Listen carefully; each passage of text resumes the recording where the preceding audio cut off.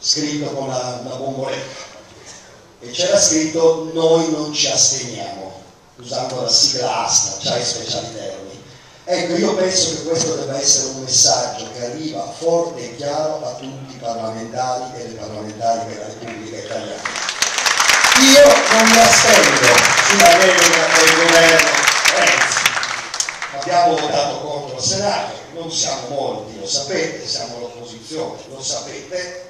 Martedì la delega arriva in Commissione Lavoro Ieri il Presidente della Commissione Lavoro, che destina il contrappasso storico vuole essere anche lui un ex meccanico, Cesare Damiano, che è il Presidente della Commissione Lavoro, della Camera ci ha garantito che lui tratterà la delega come un provvedimento normale. Ieri sera Renzi in tv ha detto che non esclude la fiducia.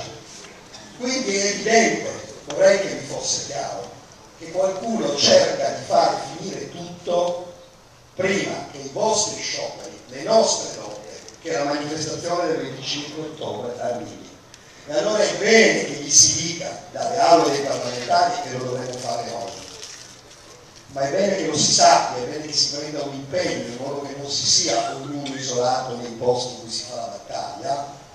E se qualcuno pensa di far finire questa vicenda con la fiducia, si sbaglia. Qua inizia una vicenda, non finisce la fiducia non finisce neanche se uno approva la Camera. Perché vedete, quella delega è ampia, è generica, si può fare di tutto. Come direbbero i miei metalmeccanici torinesi da cui vengo, è un man leva, che in dialetto vuol dire mano libera.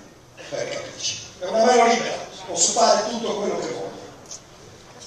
Poi alcune cose le hanno scritte nel dettaglio, c'è una, Maurizio, secondo me pericolosissima, che hanno aggiunto e che l'altro è stata scambiata come un elemento di tenuta e che riguarda il demansionamento. Perché per come è scritto è stato uno degli emendamenti, quelli che avrebbero dovuto accontentare i dissidenti, di quelli che hanno convinto ad alcuni ad astenersi per non fare cadere il governo o per non metterlo a rischio dal soccorso azzurro, che c'era, era pronto, eh? mancavano 25 senatori di Forza Italia casualmente al momento del governo hanno passato il coro. Quindi c'è stato, perché fidarsi bene, ma quando si ha un patto a Nazareno non ci si fida, si è fatto un accordo. E quell'accordo c'è stato anche l'altra notte nell'aula del Senato. Beh, sul devazionamento c'è una cosa che voi metalmeccanici conoscete benissimo perché si dice che il demansionamento deve essere tener conto dell'esigenza dell'impresa comparativamente si usa l'espressione che si usa nel testo della deroga, che capiamo cosa vuol dire, no? Perché se volevano dire che possono demansionare in una ristrutturazione mantenendo il tuo salario lo scrivono così. Invece dicono che deve essere comparata l'esigenza dell'impresa e l'esigenza del lavoratore. Poi però si dice anche che il demansionamento può, può essere derogato da quella norma in un accordo aziendale, approvato dai sindacati maggiormente rappresentativi sul piano territoriale. Traduco, è la proroga dell'articolo 8 di Sacconi che è servito alla Fiat a fare il contratto specifico di lavoro a tutta la contrattazione aziendale sul demansionamento e la chiave per usare la crisi è ridurre i salari reali, abbattere i salari. Che la via di sviluppo che questo governo propone al Paese, la via per battere la disoccupazione, una via che dice abbasseremo i salari, anzi nella crisi li faremo abbassare i lavoratori, che verranno messi gli uni contro gli altri. E la fine della libertà di ciò che restava nell'articolo 18 la la discriminazione nel completamento. Compagno della Danni che ha parlato prima di me ha usato parole che io non sarei capace di usare per la sua efficacia rispetto a cos'è la sicurezza, che non è solo la rete. Allora noi abbiamo bisogno di una battaglia, noi la faremo nelle aule parlamentari, ma è molto importante che cresca nel paese, è molto importante che cresca un rapporto di forza del paese, perché quella delega è larga, e si deve e si può cambiare. E si deve e si può cambiare nel senso che servirebbe concludo su questo. Noi nei prossimi giorni chiederemo di essere ricevuti dal Presidente della Repubblica come parlamentari e non perché quella delega ma perché quella delega, essendo così ampia, espone moltissimi ricorsi alla Corte Costituzionale, cioè genera un effetto esattamente opposto a quello che dice il Premier. Non dà sicurezza, dà un messaggio preciso di cosa si mette a disposizione e di chi si vuole colpire, ma in verità si espone a moltissimi ricorsi.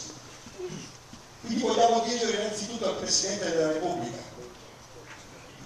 perché il problema della disoccupazione in questo paese è molto serio e non si affronta dicendo ai lavoratori dovete svalutare il vostro lavoro, dovete cancellare i vostri diritti, dovete arrangiarvi. Perché questi sono gli interventi della delega che il governo ha proposto. Si affronta, secondo noi, con un intervento straordinario, dove il pubblico ritorna a occuparsi di accompagnare alla ricerca del lavoro i cittadini che lo perdono dove non lascia soli i cinquantenni e non lascia nella precarietà i giovani. Noi pensiamo un vero e proprio piano per il lavoro, un New Deal. Pensiamo che si debbano spendere miliardi che se questo governo volesse potrebbe trovare come patrimoniale, ma se no potrebbe anche sforare il 3%. Eh, a 15 miliardi all'anno si creano significativi posti di lavoro significative attività si possono determinare da questo punto di vista. Quindi ci sono alternative alla creazione di lavoro, ci sono proposte per creare lavoro, ma devono essere proposte in cui la politica, il governo, si assume le sue responsabilità, non usa i miei diritti, le mie libertà, le mie possibilità, non decide unilateralmente di svalutare il mio lavoro, di determinare la mia insicurezza dalla salute al posto di lavoro.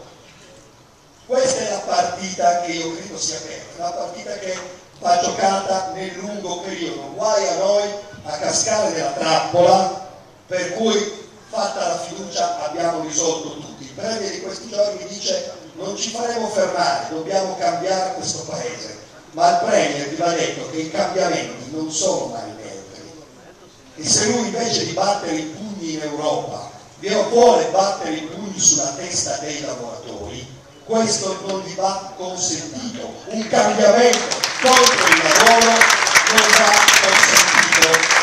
E credo che ognuno che sta in politica a rappresentare dei cittadini eletto anche da pessime leggi elettorali come quelle che ci hanno portato in Parlamento debba essere nei prossimi giorni, nelle prossime ore, chiamato alla propria responsabilità o stai con il lavoro o stai con chi dice, come ha detto l'altro giorno, ha finito davvero il ministro Poletti in aula facendo passare un brivido lungo la schiena, oppure pensi, come ha detto lui, che le imprese sono circondate dal filo spinato, quel filo spinato va tolto. Il filo spinato di cui parlava il ministro Poletti siete voi, con i vostri diritti, sono i contratti nazionali, sono i contratti integrativi. Quello non è filo spinato, quello è il meglio del lavoro